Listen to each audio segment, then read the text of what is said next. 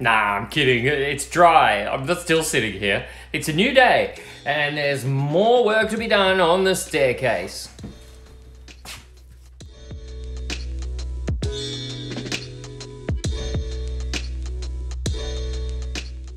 Got the top of the railing on, but I just decided I'm gonna screw it down as well. I talked earlier the other day about the timber posts. I want to stop them twisting, any possibility of that. So when I actually put the dowel in, so those plugs, I offset them from the center. So now I put a screw down the center of each post. Of course, pre-drilled, nice and uh, carefully so that I don't split the post and they seem to have had two effects. One, the posts don't twist anymore, and two, the top of the railing has really been pulled down onto the top of all those posts. So I still need to do a little bit of clay painting here. I will start putting plugs in, but I think this end result is going to be strong and look okay. I also mentioned yesterday that I bought a Forstner and plug cutter set. Uh, so the Forstner I've been using, and that one cuts a nice hole where you can then drill the screw into. But this one, this is the plug cutter. I've never used one of these before. Let's see how this goes.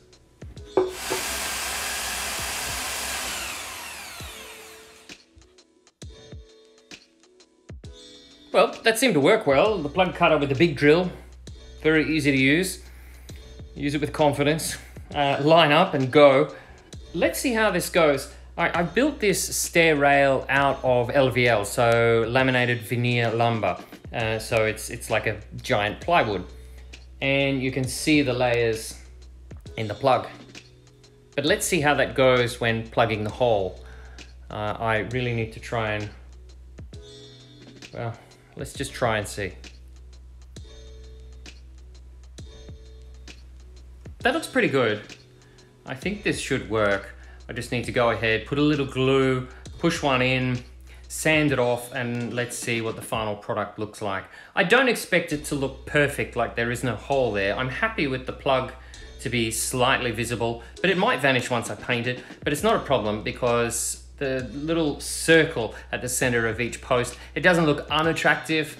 It's quite symmetrical. I did that on purpose, so it's not a problem. I think I'll move on and let's see what the final result looks like. Plugs went in really well, a little bit of glue, a little bit of hammering, just chisel the top off, and I've left a little bit exposed. A little bit of this, a little bit of that. I'm gonna sand down the entire handrail once it is dry. Let the wood glue dry.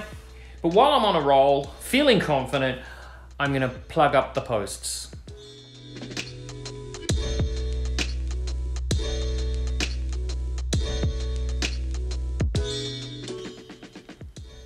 All plugged up.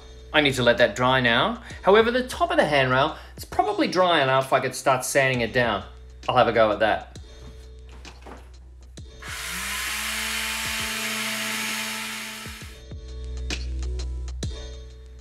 I'm extremely happy with this.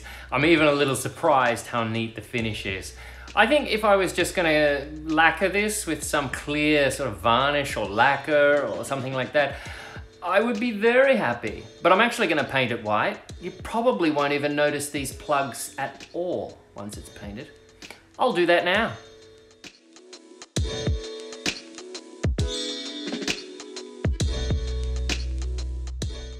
This looks really good.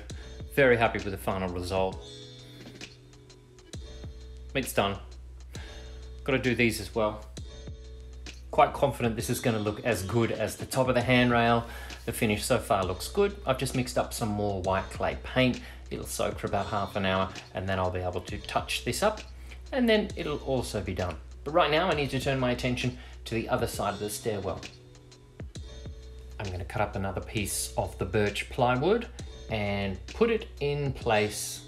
This one will be a little bit harder. It'll be a little bit of a puzzle. I'll need to cut a couple of slots where the stair stringers are. So one step at a time. I'll go and cut the plywood. I've got the piece of birch plywood cut out okay. It looks all right. It fits. What I really need to do is cut into that piece of timber to accommodate for these two stringers. So rather than just cutting straight into the final piece, I'll take a piece of scrap and I'll create myself a template. This will be the safer way to make sure it actually works. Here is my template. It actually cut up quite well.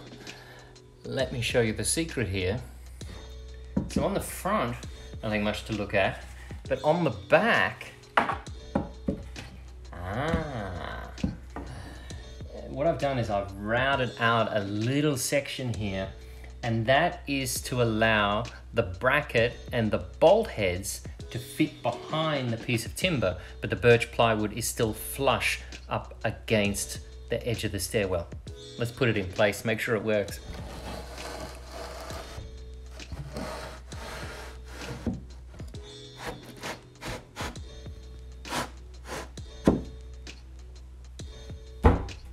Yes, it works. Look at that. Very nice, that's gonna give me a flush finish. I now need to use that template and cut the big piece of timber. Fingers crossed, I'll be back in a moment. It's not gonna fit. Okay, it probably will. I just need to take uh, a couple of mil off that end. Try this again in a moment. Take two.